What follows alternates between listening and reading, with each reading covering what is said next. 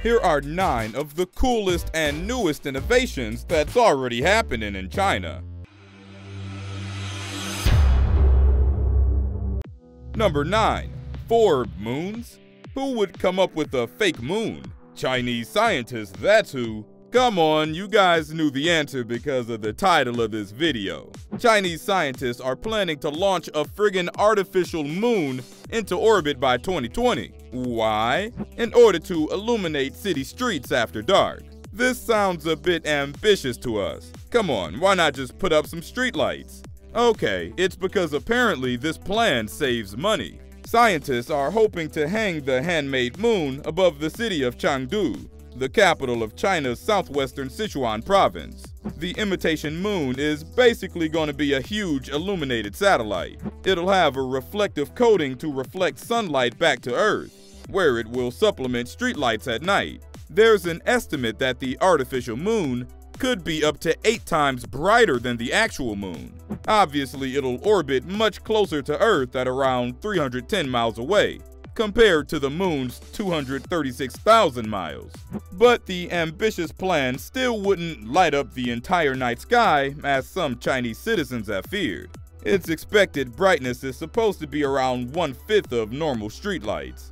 Theoretically, the artificial moon could save the city of Chengdu around $173 million in electricity costs annually. If everything goes to plan, the first artificial moon is gonna be joined by three more artificial moons that'll light up the night sky by 2022. Number 8. Bring the chopper. Who hasn't ridden in an Uber these days? But one thing we know you haven't ridden is an Uber helicopter.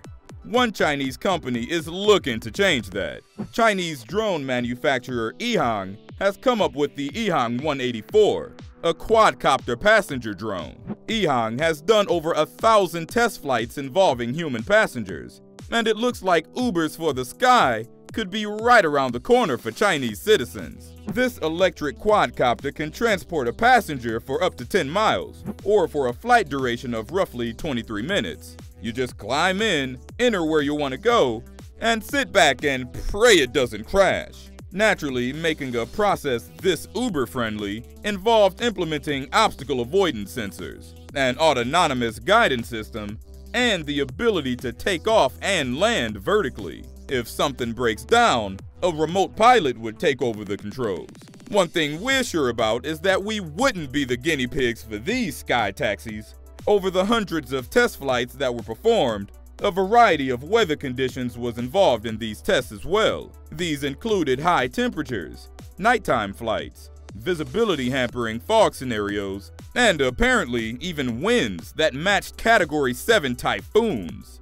EHang is marketing its quadcopter as a luxury ride for rich people looking to get wherever they're going in a city fast. To be honest, it's pretty cool but we still wouldn't be early adopters for this no matter how great the first tests have gone. Would you guys ride in one of these? Let us know in the comments. Number 7. Fast Charge For any of you guys that drive a Tesla or an electric vehicle, this is good news for you. China built its first solar-powered highway back in 2017 in its eastern Shandong province, and is expected to open another one for traffic by 2022. They're doing this to prepare for the growing transition toward electric and driverless vehicles. If someone is out there testing this technology, this means that the US isn't far behind. China's newest solar superhighway is located in Zhejiang province. It's gonna be a six-lane expressway with solar panels that charge electric cars as they drive through. And it's also built to support automatic driving. The road will charge electric vehicles through photovoltaic cells that provide a charging service as cars move. The built-in system also means that vehicles don't have to slow down or stop to pay tolls. The expressway will provide an adaptive road environment for automatic driving that should reduce the number of traffic accidents and help the road keep clear of traffic jams. Number 6. Wi-Fi password? Think about a world where you don't ever have to hear, yo bro, what's your Wi-Fi password, again. Back in November 2018, a Chinese company announced their planned launch of the first satellite that will help provide free Wi-Fi worldwide. The company, Linksure Network, was founded in Shanghai in 2013 and describes itself as a mobile internet company specializing in free internet access. Their first satellite will be launched in northwest China's Gansu province sometime in 2019. They plan on having a whopping 272 satellites in orbit, delivering free internet by the end of 2026. The company came into existence because of regions in the world that telecom networks can't cover, because of the difficulties installing the infrastructure needed. Basically, we can blame some of Earth's physical features for that one. According to the UN, at the end of 2017, there were still a whopping 3.9 billion people who weren't connected to the internet. Many global tech companies, including Google, SpaceX, and Telesat, have already launched plans to use satellites to provide free internet. Estimates are that there'll be long-lasting and high-profit opportunities in the satellite internet market at the scale of trillions of dollars. Because, come on, let's face it, having access to the internet is an amazing thing, and we all know people can't live without it. Number 5. WeChat all day. How many of you guys know that China is now the world's biggest cashless marketplace? In China, most people pay for things just by scanning a QR code with their phones. The mobile payment market is dominated by two apps, WeChat Pay and Alipay, which have hundreds of millions of active monthly users. So, how did this come about? It's because the Chinese are super quick to accept new technology. According to a 2017 study, 92% of people in China's top cities said that they use WeChat Pay or Alipay as their primary payment method. In addition to seemingly becoming a cashless society, China also appears to be becoming a cardless society. Before cashless payment systems became common, counterfeit bills were a big problem in China, even when dispensed at ATMs. The government even came up with new notes to counter the counterfeit ones, but the problem still persisted. But cashless and cardless transactions aren't only limited to commercial transactions. In China's tech capital, Shenzhen, one local subway operator is testing facial recognition subway access. People entering the station can scan their faces on the screen where they would have normally just tapped their phones or subway cards. Their fare then gets automatically deducted from their linked accounts. Of course, they'll need to have registered their facial data beforehand and linked a payment method to their Subway account. It's definitely one way to get around without bringing a Subway card. But having a card is also convenient to get a visiting friend in on the Subway. Number 4.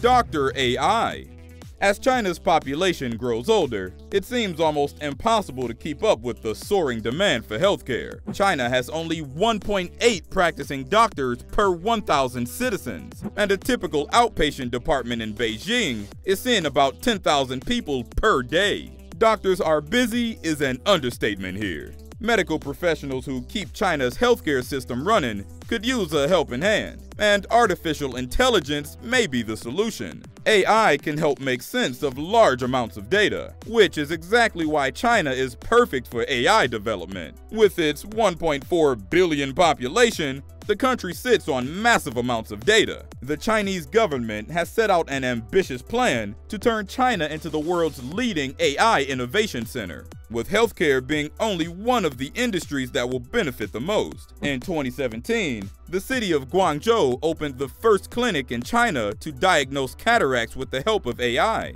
The tool is expected to save time by directing patients toward the best specialists for their needs, allowing more patients to be treated. Many similar initiatives are underway. According to a Beijing-based consultancy firm, 131 Chinese companies are currently working on applying AI in healthcare. The goal isn't to completely replace doctors, rather it's to help them in their daily work. Because come on, at the end of the day, who really wants to be talking to a computer about their health problems? Number 3. Augmented Reality Shopping The global VR and AR market is expected to reach $110 billion by 2020. And while much of the attention these technologies have drawn so far focuses on the gaming industry, there are companies in other sectors looking to take advantage of these technologies as well. Take Alibaba for example. The Alibaba Group is seeing strong potential for AR and VR for e-commerce. Alibaba took its first step when its Buy Plus virtual store made its public debut at the Taobao Maker Festival in Shanghai. Buy Plus allows consumers to shop in a virtual environment with 360 degree views using a VR headset and two hand controllers. Shoppers can browse products from bags to shoes to lingerie, and even have virtual models showcase the apparel and accessories on the catwalk. You would be able to also cycle through different features that offer more detailed product information, and add or take items from your shopping cart. Buy Plus has been rebranded to Taobao, and in the future it may be something that's as commonplace as a TV set in every home. Maybe one day going to a store to check out how something looks will be a thing of the past. Number 2. No tracks needed. Imagine a train that's running all over the place. Maybe that's a good thing, or maybe it's not for you if you're one of those people that love getting around on foot. Trackless trams aren't really trams, nor are they really a bus. What they do have are rubber wheels, and they run on streets. Trackless trams are based on the technology in high-speed rails, except you're putting them in a bus. The point is, it wasn't created to run over people a la Grand Theft Auto style just for the fun of it. It was created because it's environmentally friendly and actually pretty comfortable to ride in. Trackless trams can replace the noise and emissions of buses with electric traction. Batteries can be recharged at stations in 30 seconds at each stop, or recharged even more at the end of a line in 10 minutes. That could just be an electric bus, but this tram is much more. It has all the speed, capacity, and ride quality of light rail. However, these trams are optically guided by GPS and lidar technologies. This means that they can move very precisely down to milliliters along an invisible track. But don't worry, they do still come with a driver in case anything weird happens. But trackless trams are becoming a reality because of the worst feature of light rail. That's having to lay down tracks for a city. It can take years to lay rail tracks, causing major disruption to local economies. The tracks for this tram are easy to implement since it's physically non-existent, and it can be put into a road system over a single weekend. Number 1. Attack of the Drones Chinese companies are going all out on unmanned systems for delivery logistics. A fleet of new autonomous cargo drones, robotic trucks, and fast quadcopters are making China a future world leader in robotics. Alibaba is planning to start mass producing the world's first solid-state lidar delivery robot, which uses a laser-based guided system to navigate roads without the need for a human. The G Plus, which is a four-wheeled small truck, has a top speed of 10 miles per hour. Once it reaches its destination, customers can unlock it using an app or a passcode. JD.com, China's second largest e e-commerce firm started robotic delivery of packages in Beijing on a university campus. JD is going all in on automated logistics with a $4.5 billion AI hub in Guangdong, 200 delivery drone airports, and fully automated warehouses. Hey, now they only need to figure out how to make sure packages don't get stolen after they've been left on the porch. Here's what's next.